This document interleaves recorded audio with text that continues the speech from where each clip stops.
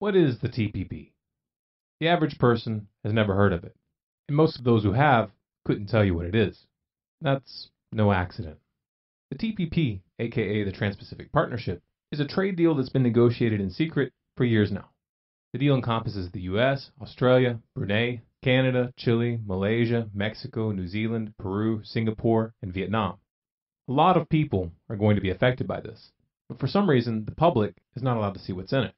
In fact, many of the lawmakers which are about to vote on this deal haven't even read it themselves. Those who have are forbidden to expose what it contains. If that strikes you as fishy, you're not alone. We the people don't get a word to say about the TPP, but multinational corporations do. There are 600 corporate representatives participating in these closed door negotiations. Obviously, these representatives are looking after their employer's interest, not ours. Though the public doesn't have access to the full text of this agreement, contents of leaked drafts make it pretty obvious why this is being pushed through in such a sneaky way. Now, you might have heard some people focus on the probability that the TPP will cause the U.S. economy to lose jobs, much like NAFTA did, only worse. Though this concern may be valid, it's hardly the most dangerous part of the agreement. The real danger lies in the way that this agreement subverts the sovereignty of nations. The TPP would create a system of shadowy trade tribunals which would allow companies to override and nullify laws in any member country. These tribunals are extrajudicial. Their authority is outside and above national justice systems. The arbitrators are unelected and completely unaccountable to the people. The laws which will be subject to this new agreement include, but are not limited to, intellectual property rights, food and product safety, environmental standards, and just about any regulation that may affect the way companies do business. Under the TPP, if a country passes a law to protect its citizens or reduce pollution in a particular sector, a multinational corporation which is affected by that law can take that country to a tribunal. The ruling will be legally binding. It doesn't matter what the people voted for. An example of what this would look like can be found in Uruguay, which has been sued by the Philip Morris Tobacco Company. You see, Uruguay passed a law requiring particularly aggressive warning labels on cigarettes. These warning labels have been very effective. Smoking in Uruguay has declined by about 4% annually. Obviously, that's bad for business. The fact that intellectual property rights are covered by the TPP has grave implications for the future of the Internet. Under this agreement, companies claiming to be harmed by lenient copyright enforcement would have a backdoor means to push new draconian regulations on every participating country. This would bypass normal legislative processes completely. Remember SOPA? Under the TPP, they wouldn't even have to pass a new law.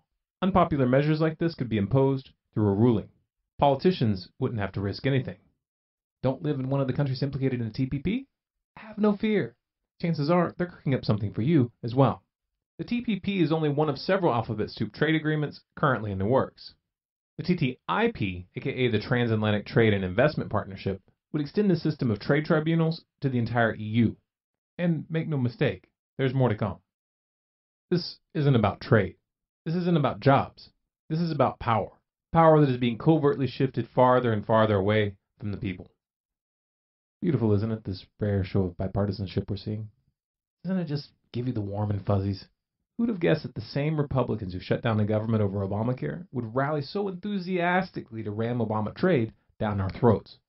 It appears that those who line their pockets are in agreement on this one. It isn't enough for the corporate ruling class to have the politicians in their pocket. Now they want the ability to bypass elections and constitutions completely. How does that make you feel?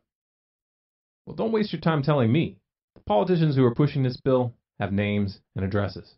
Look them up, give them a ring, rattle their cages a bit. There's a time and a place for politeness. This is not one of them. If you're a resident of any of the countries involved in the TTP or the TTIP, now is the time to put pressure on the walking haircuts presiding over your particular region. Let them know that you know what they're up to. Make it clear that you will hold them personally responsible if they don't back out. These trade agreements are just the beginning. They'll take this as far as you let them. If this message resonates with you, spread it. If you want more, subscribe to Storm Clouds Gathering on YouTube or follow us on Facebook, Twitter, and Google. If you have a topic request, post it in the comments. And for the full transcript and sources, visit our website at stormcloudsgathering.com.